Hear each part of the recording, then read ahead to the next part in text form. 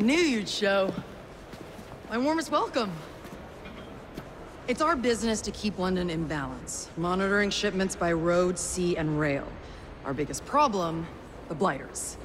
If you could rid us of them, I'd be ever so grateful. It would make London safer.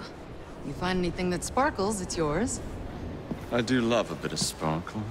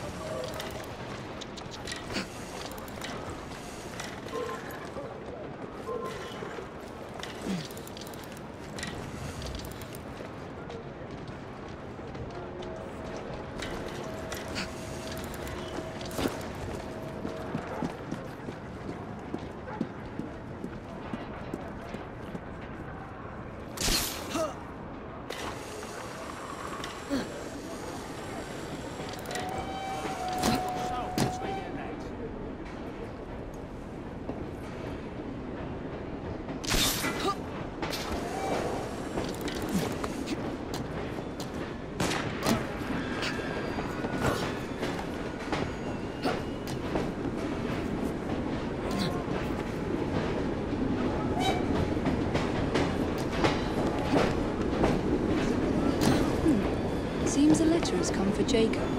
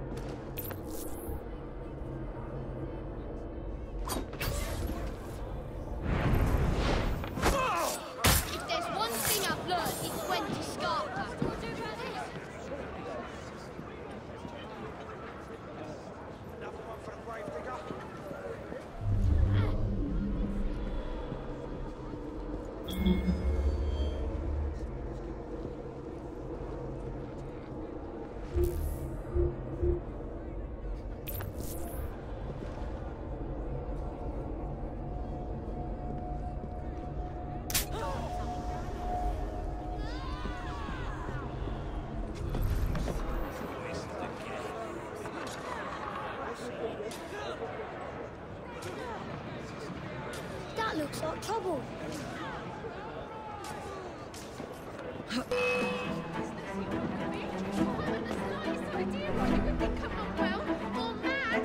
on earth can make you think that about me?